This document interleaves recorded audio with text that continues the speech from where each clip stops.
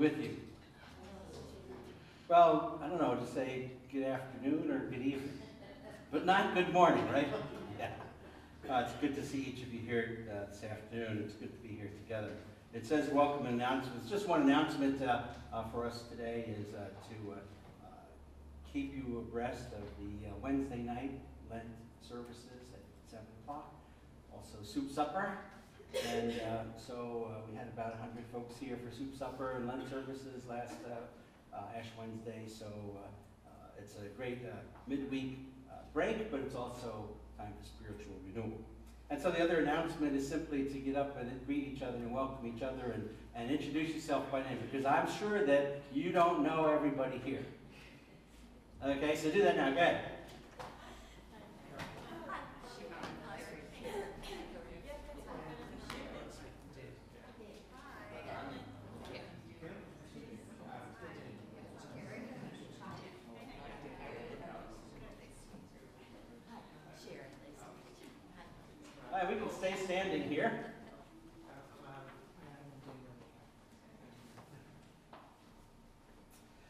So our topic in worship uh, today is uh, making a difference. That's our ongoing theme. Uh, don't get tired of it because we have a few more weeks, uh, and each Sunday we have an opportunity to see how we can make a difference in a different way for God's kingdom. And this, this afternoon, God's Word directs us to His purpose for the church. What's the church all about? Or as it says in your folder, why on earth does the church exist? Why does the church exist on the earth? And, uh, and we'll hear God speak to that from His Word today. With this in mind, let's begin our worship with a word of prayer. we begin in the name of the Father, and of the Son, and of the Holy Spirit. Amen. God, our refuge, and God, our strength. The battle of good and evil rages all around us, and sometimes within us and in our lives. We pray tonight that you would keep us strong and steady in faith as your word strengthens us. And Lord, when we fall, We pray that you would pick us up and restore us through your Son, Jesus Christ our Lord, who with you and the Holy Spirit reign, one God, now and forever. Amen. The Holy Gospel for today, the first Sunday in the season of Lent, is recorded in St. Matthew's Gospel, chapter 4. Jesus was led by the Spirit into the desert to be tempted by the devil. After fasting 40 days and 40 nights, he was hungry. The tempter came to him and said, If you are the Son of God, tell these stones to become bread. Jesus answered, It's written, Man does not live on bread alone, but on every word that comes from the mouth of God. Then the devil took Jesus up to the holy city and ha- had him stand on the highest point of the temple. And he said, If you are the Son of God, throw yourself down, the devil said, because it is written, He will command His angels concerning you, and they will lift you up in their hands so that you will not strike your foot against a stone. Jesus said to the devil, It is also written, Do not put the Lord your God Again, the devil took him to a very high mountain and showed him all the kingdoms of the world and their splendor. And he said to Jesus, All this I will give you if you will bow down and worship me. And Jesus said to him, Away from me, Satan, for it is written, Worship the Lord your God and serve him only. And the devil left him and angels came and attended Jesus. This is the Holy Gospel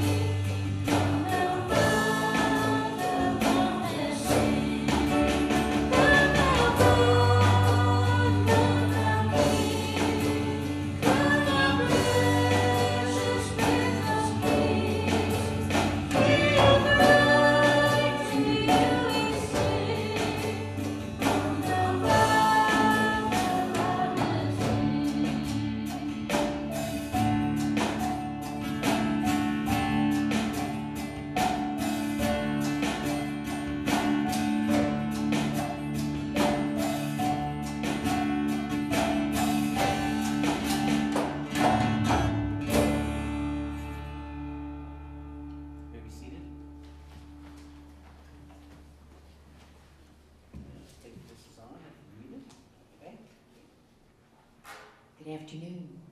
Afternoon. I think it's afternoon. Yeah, it's five. The New Testament lesson is recorded in the Acts of the Apostles, chapter 2.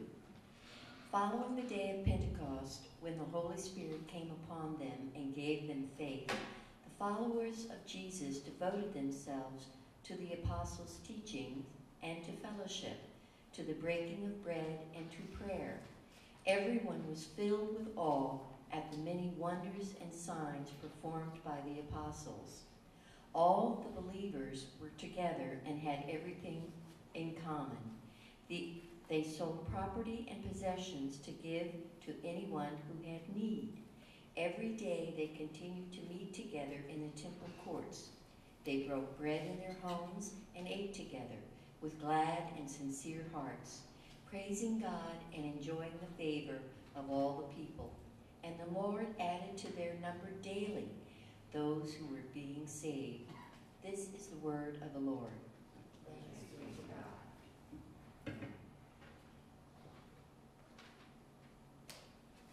Well, in reading, we get a picture of what the church was like uh, in the days, well, following the day of Pentecost, 51 days after Easter, after Jesus had risen. Followers of Jesus, Jesus devoted them to the apostles' teaching. The apostles had learned what Jesus shared with them and told them to, to teach others. And so the followers devoted themselves to those teachings and to the fellowship, the caring for one another. Kind of like what went on here at the beginning. You know, you just start talking to each other. If you know it, you get to know each other a little better. Some sharing stories about college students and whatever. Uh, and uh, they were together and they had everything in common. That's a different culture there where they shared a lot more. And if you had a need, he would sell everything he had to get to help you out, see? And, uh, oh, wouldn't that be nice? You know? Um, and, uh, and they continued to meet in temple courts every day. And they, they ate together in their homes. And they were, had glad and sincere hearts about it, no obligation. And the result of that, Lord added to their number every single day. Amazing. Now, if you're like me, when you hear this, you say, well, we're not the New Testament church. Well, yes, we are. We're not the church 51 days after Jesus rose from the grave. But we still are the church, and this is still ought to be the marks of the church. Devoting themselves to the apostles' teaching, to prayer, to fellowship with believers, to care and encouragement and support for one another. Because it's a hard world out there. We heard in the, in the temptation of Jesus. So let's just take a, a moment here as we begin our worship to, to take an inventory of ourselves and, and, and uh, our relationship to the Lord and His church, uh, especially in light of these things, devoted to the apostles' teaching and the fellowship and prayer and being together for support. So let's confess our sins to the Lord. Others, please go ahead and confess, but uh, with that in mind.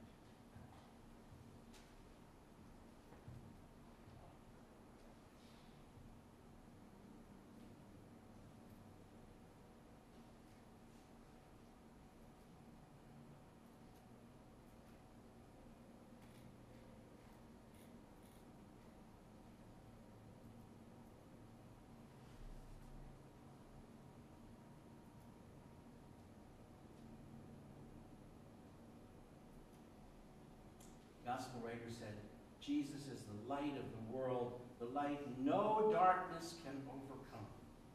And God, who commanded the light to shine out of darkness, has poured out his Holy Spirit now to bring the light of the knowledge of the glory of Jesus Christ to people and to bring them to faith in him.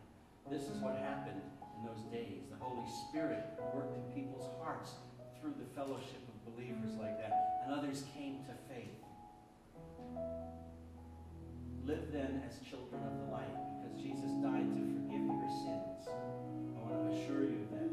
In the name of the Father, and of the Son, and of the Holy Spirit. Amen. Let's stand to praise the Lord, who is mighty to save.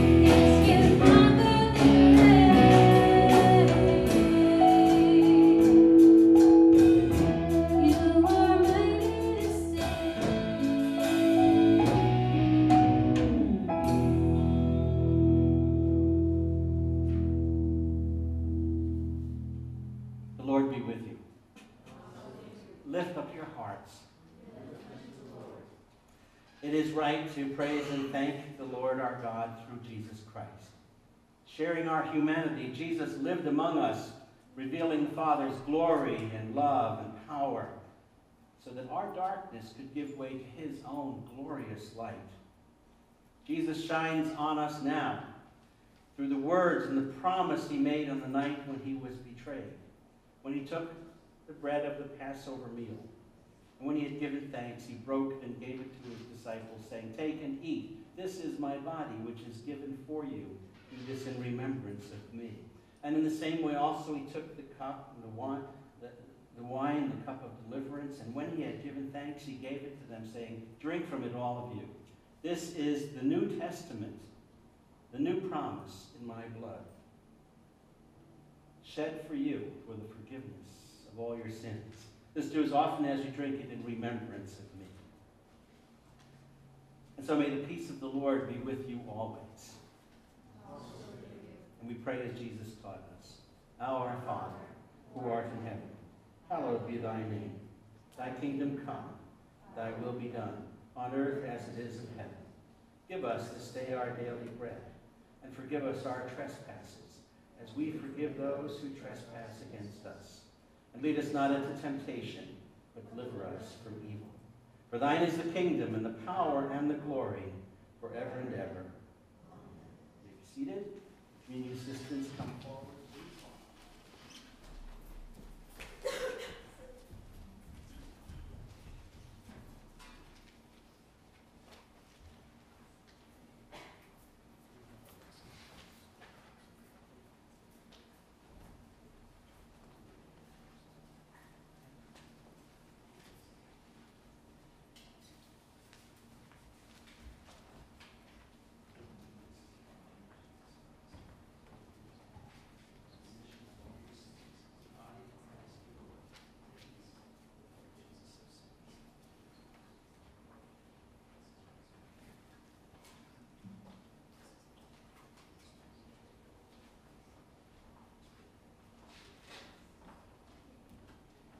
Welcome to the Lord's table.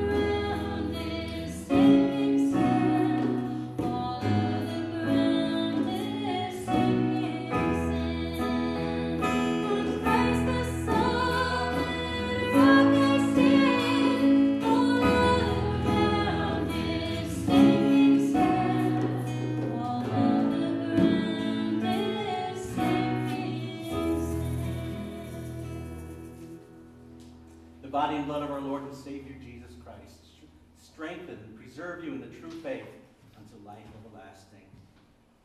Peace. Amen. And remain standing, please, for the second gospel. Doubly blessed today. According to St. Matthew chapter 16, when Jesus came to the region of Caesarea Philippi, he asked his disciples, Well, who do people say that the Son of Man is?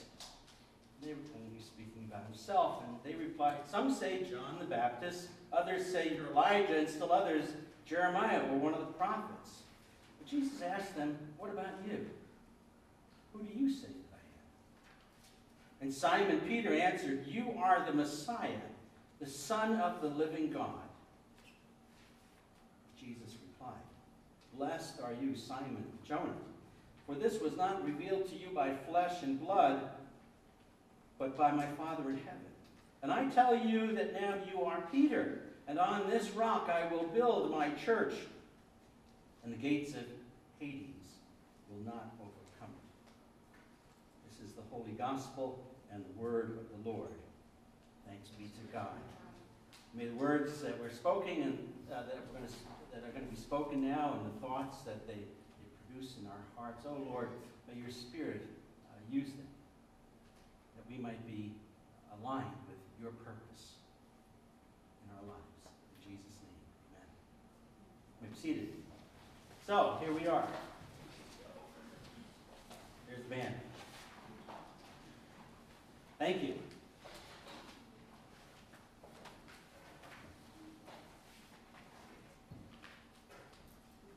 Don't need to, well, maybe, yeah, okay, yeah. So thanks, band, and you know, we don't always uh, say thank you to you. And this is not about praising you, but it's thanking God for you. Thank you very much. Well, the time of Lent has begun. 40 days, not including Sunday, so today's not a day of Lent.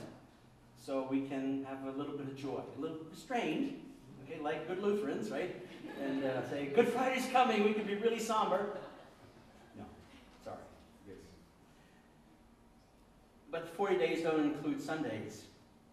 And the 40 days end with the day of resurrection. The celebration of Christ's victory over sin, death, and the power of the devil. 40 days, a lot of symbolism in that number. It's the number of years that the children of Israel wandered in the wilderness saying, God, why are you doing this to us? You know? Yet God provided them with manna. Anybody know what the word manna means? What is it? So they woke up in the morning, good, and they found this stuff on the ground. It was food from God, and they said, What is it? You know, you don't ever do that when mom puts food out in front of you, right? What is it? so they wandered 40 years in the desert. It was the number of days that Jesus was in the wilderness, tempted by the, by the devil, as we heard. But he wasn't only the devil in the wilderness with Jesus, he was alone except for the angels and the devil. And the devil was determined to make sure that Jesus would not be in the position to honor his Father's will for him. God the Father's will that his Son would come into the flesh, and that happened, and would become the payment for the sin of the whole world. And so that was Jesus' purpose. And the devil wanted to make sure that didn't happen. It was determined to have Jesus sin. And that's what's behind those three temptations. And those temptations were fierce. And the battle was win, lose, no ties. A loss by Christ would be devastating. So Jesus fasted. And I don't know if you've ever fasted okay? But you get hungry. And uh, now the purpose of fasting, by the way, is not to give up something for Lent. Okay? But the purpose of fasting is so that you hunger. And so that when your body has those hunger pains, the purpose of fasting is that your intellect would take over and say, I have these hunger pains. May I hunger and thirst for Jesus and his righteousness. See, that's the purpose of fasting, to make us aware of our need for Christ. See? So Jesus was in the wilderness, he fasted. He probably had water. He prayed. And he was tempted. But he didn't sin. And he was ministered to by the angels. What did Jesus use to resist temptation? Somebody? The Word of God. Every time Satan tempted him, Jesus said, It is written. The Word says. And the, and the devil also used the Word. He says, It is written, Jesus, that you know your angels are going to pick you up. And he, Jesus says, Don't tempt the Lord your God. He used the, the Word of God when he was tempted. And all of this means that Jesus was able to accomplish the Father's purpose for him, to save us from our sins. So that each and every one of us, receiving Christ by faith through his word and through the sacrament, and counting his sacrifice on our behalf for the forgiveness of sins, so that every one of us would be reconciled to God and have eternal life. And I, I pray that God's word of truth that we've heard today, the word made flesh in Jesus, that God's word of truth would be your rock and would be your salvation and would be your hope and would be your faith and would be your peace. Because that's God's will for you. Sounds good, doesn't it? It's true. And my prayer also is that God's purposes for us, that's his outcome for you personally, every one of us pers- personally. But I pray that God's outcome for us and his church will be what motivates your life and your living. You see, there's a difference between the purpose of Jesus going to the cross to save us from our sins and the purpose of the church. Last Sunday, you, and this was the worshiping community of Somerset Hills, wherever you are, all of you, not just members of the church. At the end of the message time last Sunday, almost all of you raised your hand in agreement of the need for us to be intentional about seeking God's preferred vision for our future. As we're in this time of transition, to ask ourselves what's God's purpose and will for us in this congregation as we move forward. And, and you all raised your hand and said, yeah, that's really something valuable we ought to be doing. And I appreciate the conversation we had. The council asked that it would be a conversation, not just one way. And so I got the microphone ready, so we're, today we're going to continue that, and you can say whatever you feel in, in response to what I ask here. Um, but, but as far as last week in the vision, I want you to know that in some time in the future, not too long, there's going to be a, a following the self-study process we're undertaking. Uh, there's going to be a time for all of us to come together, as many of us as possible, for a few hours on Saturday morning, maybe through lunch, to participate in a process by which we can begin to see from the Lord and His Word and speaking through each one of us, because He hasn't given up on the gift of prophecy yet. He never will. Speaking through us, and maybe even just one of you, God's preferred vision for us as a congregation. And I want to tell you, having been through this with other congregations as a consultant, I can tell you that it's an exciting venture. It really is. It may seem chaotic, and, and uh, but that's how God works in the chaos. You know, and I'm praying that 40 or 50 or 60 of us uh, could, uh, could be part of that when that happens. And so keep that in your mind, all right? Uh, and every single one of us is important to God, and every single one of us is important to, to uh, come together to seek God's vision for what we're going to be like as a congregation going forward. And that has a lot to do not with us sitting here, but with who's not sitting here. Now, I'm not talking about the other members? A second need that the consultation team identified was for all of us to be equipped for us to share our faith. And a few weeks ago, three of our SHLC people got up there and, and shared their stories. Remember that? It's pretty impressive and, and wonderful to hear uh, what God was was doing in their lives and, and how they shared their faith. And I think we we're all pretty impressed by their stories. So raise your hand if you want to do the same thing. There's one. And he, he, he's not a plant, okay? and that's about as I expected. In the morning service, there was about 100 folks here. They all slept in, right? Okay, you have no excuse here. I don't know about that. And there was about three people who raised their hand. That's what I expected, see? So you can see the recommendation of that consultation was right on target.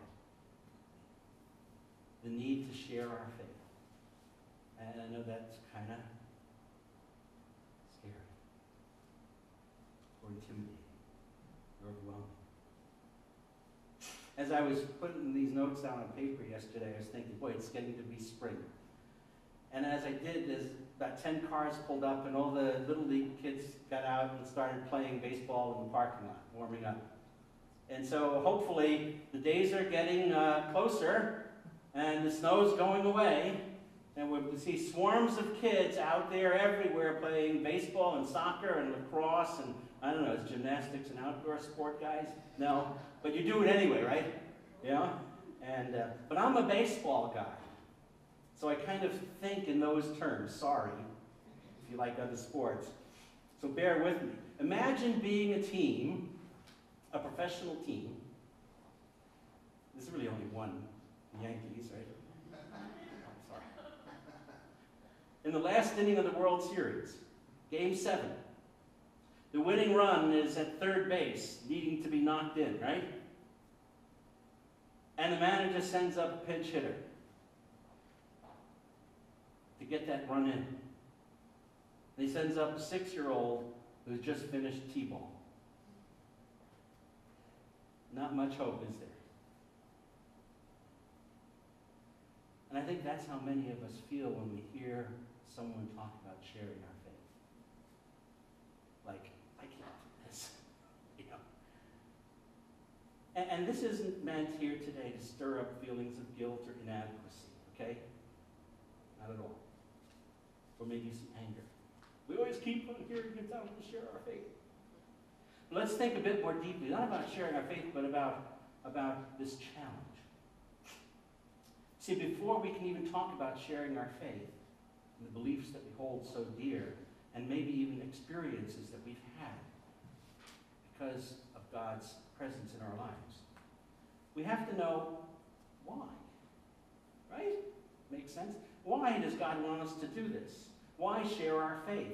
And the answer is pretty simple. But first, let's look to the Word of God this mor- uh, that, that we just read, and, and that Sharon read, and that I read in the second Gospel reading. Okay? And, and we had it as part of the confession. But, but, you know, this is what the early church did. They devoted themselves to the apostles' teaching and said, don't raise your hand, but how many of us devote ourselves to the apostles' teachings? See? And to fellowship. That doesn't mean just saying hello at the beginning of the service, but to actual caring. When you have a need, going over to your house, the other person's house, and being there for them. You know what I'm talking about, you know? Uh, and the breaking of bread, and that means communion. And, and to prayer. Well, maybe we devote ourselves to prayer, okay? Because that's, this is all, this is, these are personal things. We believe faith is personal, right? And it is, but it's also corporate. Okay?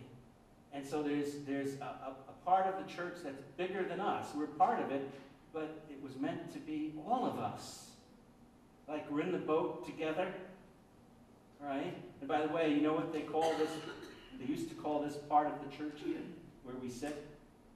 Anybody? The nave, N-A-V-E. Like it's a ship, navy.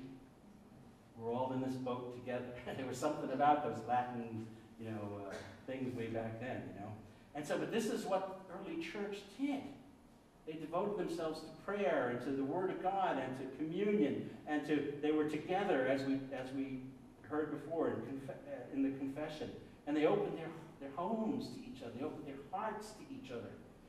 And and God used that to multiply, multiply His church. On the day of Pentecost, just through the sharing of, of the testimony of those uh, 11 disciples. What did the scriptures say in Acts? How many came to faith? 3,000. Okay, it's quite a multiplication.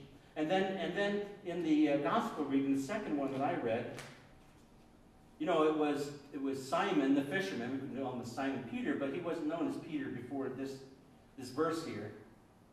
And and Jesus was wondering, maybe he knew, was wondering, okay, guys, who do people say that I am out there? Well, you're a prophet this other stuff. You're a wise teacher. And he said, how about you? And Peter said, you are the Messiah, the promised one of God, the one who's going to be the Savior, and you are the Son of the living God. Quite a statement, you know? And, and, and in another gospel, Jesus said, You didn't get that from yourself, the Father gave you that. And then he said to him, I'm going to build my church, Peter, not on you. I'm going to build my church on that confession. And of course, then Peter and the others went out and confessed it. See? And so so we're beginning to say this is why and how God is going to build his church. God's telling us through his word today that the message that Jesus is the Son of God and the Savior is the utmost reality and priority for his church. And the second is what happens when believers and followers of Jesus do what God has directed them to do. And what happens? The Lord adds to their number. So then, what would you say is the purpose of the church? And we get the microphone ready now. Okay, we're going to put you on the spot. Uh, and, uh, but you're going to have to get up, okay? And, uh, because they're not going to raise their hands. I want the mic. Okay? What would you say is the purpose of the church? Or as it says in the welcome there at the beginning, why on earth does the church exist? Why does the church exist on earth? Share with us. What do you think is the purpose of the church? Anybody? We're recording this, that's why we need a mic. So we're not going to say that, uh, that uh, Karen Gill said this. Go ahead, Karen. Oh, come on! Purpose of the church. Help bring us closer to Jesus. Help bring people closer to Jesus. Go ahead. There you go. It also gives us a, a routine of, of making sure that we're constantly coming back to Jesus and Okay, going back to yeah, each other. repentance, it gives us that foundation of, of our life, you know. You know, like we have to eat to live, right? I live to eat, all right? But we have to eat to live, and, and so a part of our routine is spiritual food, spiritual life with God. If we don't have it, what happens? We die. To spread God's word? To spread God's word, the good word, right, of Jesus crucified. Yeah. This morning we got also lots of things like the purpose of the church is to worship. Yeah? Well, that's an outcome of what, the, part of what the church does. Okay, but that's not why Jesus ascended to heaven and told his disciples what? Go, therefore, and make disciples of all nations, baptizing them in the name of the Father, Son, and Holy Spirit, teaching them all I've commanded you. That's the last words that Jesus gave to the church. Go and make disciples. How? Baptizing, teaching. Okay? Uh, and that's why it's important to see that those first Christians, right after Jesus ascended, they devoted themselves to that teaching. Didn't they? Yeah. And then in 1 Peter chapter 2, I want to cut you off. Peter says, and this is Peter who said, You are the Christ. He said, You were created to give praise to the God who brought you out of darkness into light. Okay, Adam, you're next.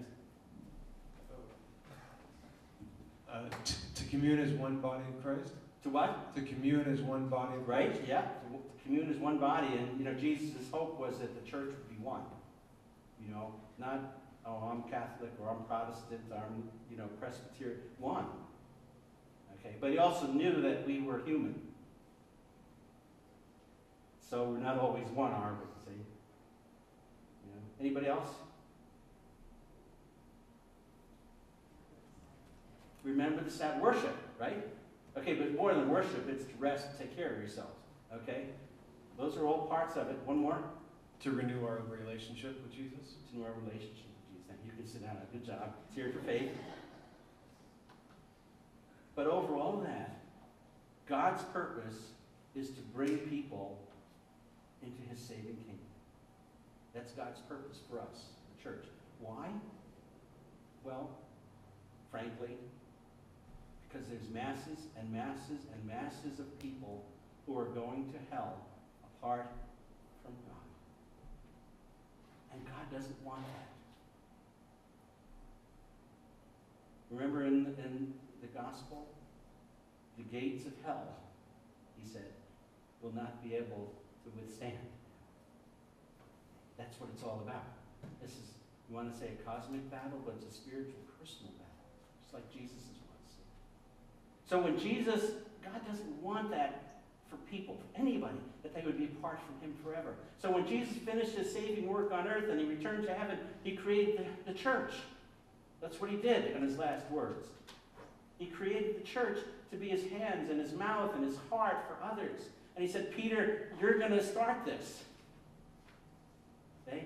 And you're going to build the church not as an organization of humans, but you're going to build a church based on that statement of faith that Jesus is the Messiah, the Son of the living God. That's why we're here. That's the answer. Everything else falls under that. It's good and right and proper and needed to do. But the purpose of the church is to show and share and tell the good news of others so that they can have life with God forever as well. That's why we're here. Not to tell others that they're going to hell. That's pretty arrogant. Okay? And that's not what what we're here to proclaim, despite what you may see on TV sometime or what's in the public or what the perception in the media is of the Christian church. But our purpose is to be useful to God in accomplishing His purpose, every single one of us. So back to baseball. Are you ready to go to bat? I didn't think so. Most of us still feel like we're in T-ball, right? Or let's put it another way. To be honest, the devil is still tempting us to believe that we couldn't possibly do that. And, and the devil works that way. You couldn't possibly do that. You can do poss- you couldn't possibly do anything more than kids games. That's what the devil says. Or you couldn't do this. We have a film clip. You ready up there with that film clip? Okay, well, Carter, she's so, it's gonna take a minute for it to load, it's on YouTube, okay? And if it doesn't, Faith's gonna run up there faster than she ran around. It's coming, I will see. Here's a mouse.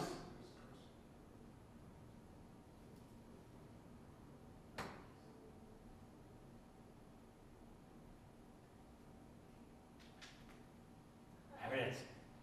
Maybe you saw this. And the Oscar goes to. Hold on up. Matthew McConaughey. Last Sunday. See it? Raise your hand.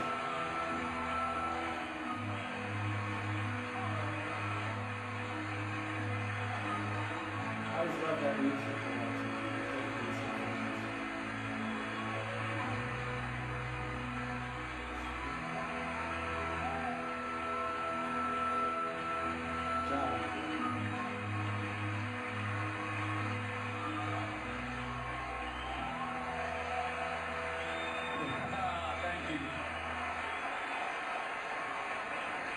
Thank you, thank you, thank you to the Academy for this.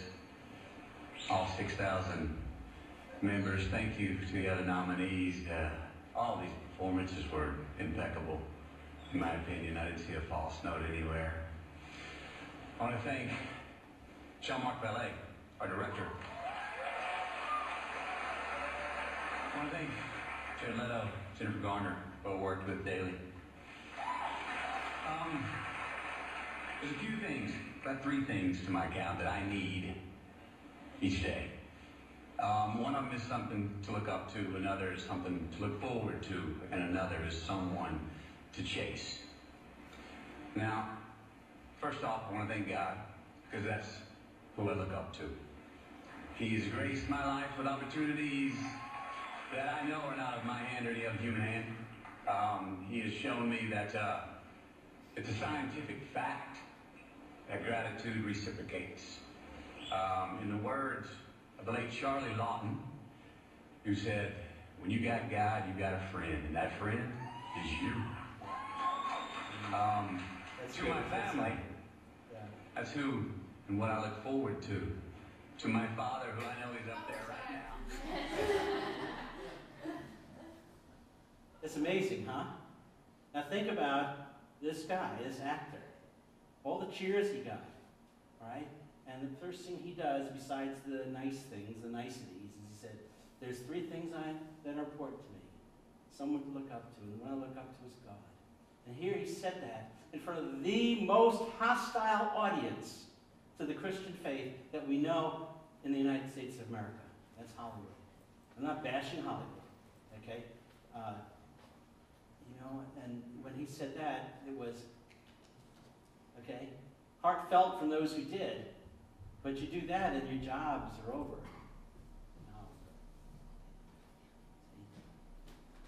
Hostile audience, anti God, atheistic. Can you do that?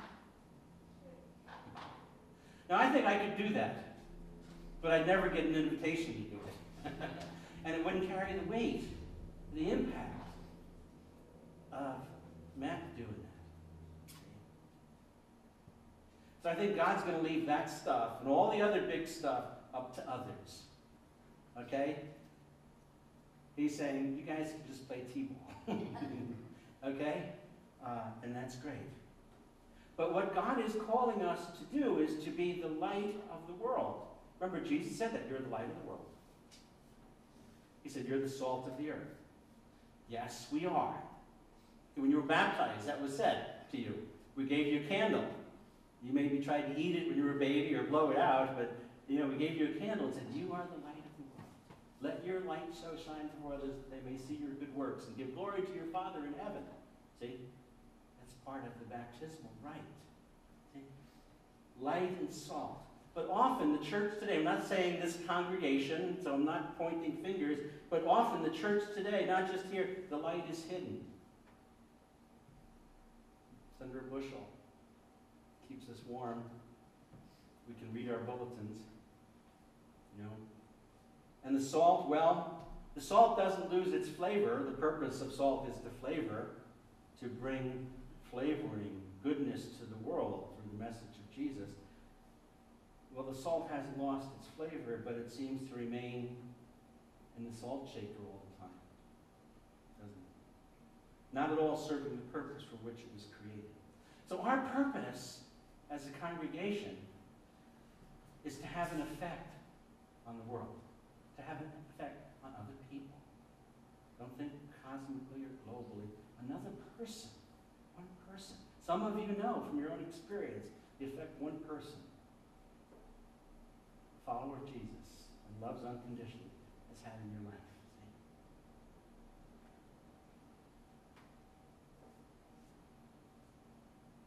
See? So, our congregation's second challenge is to grow to the place where we can share our faith, to grow to the place in ways that have an effect on the world, showing and sharing the love and hope of Jesus. So, do we, can we say, yes, we have that need?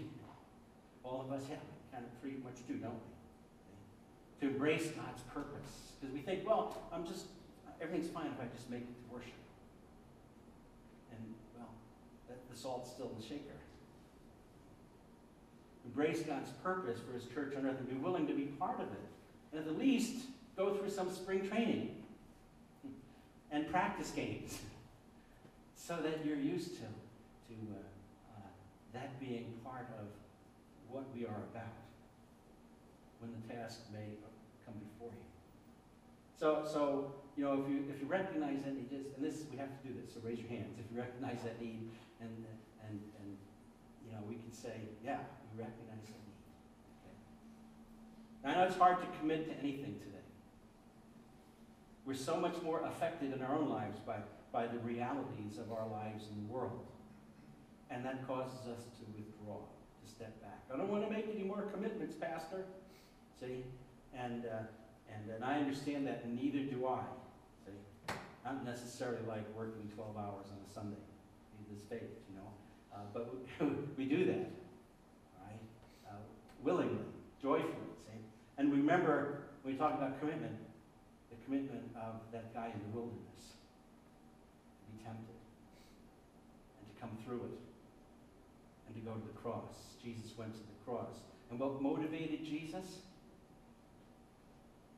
You. You. Pay for your sins so that you can be reconciled with God. And that's for every single per- person in the world.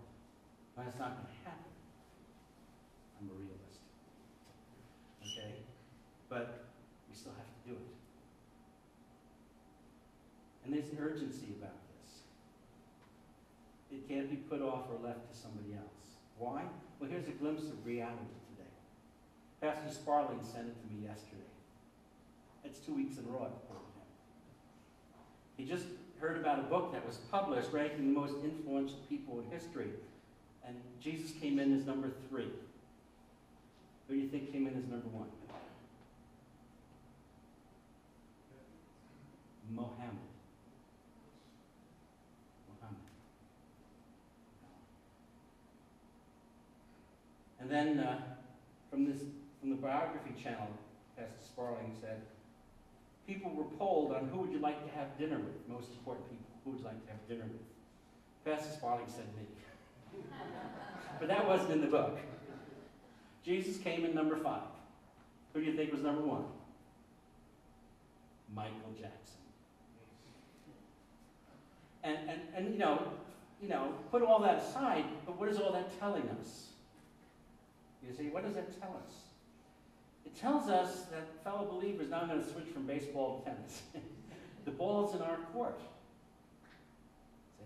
And, you know, I think we put our rackets down and catch the ball and say, well, that's great, I'm going to keep it. But the ball's in our court to hit it back.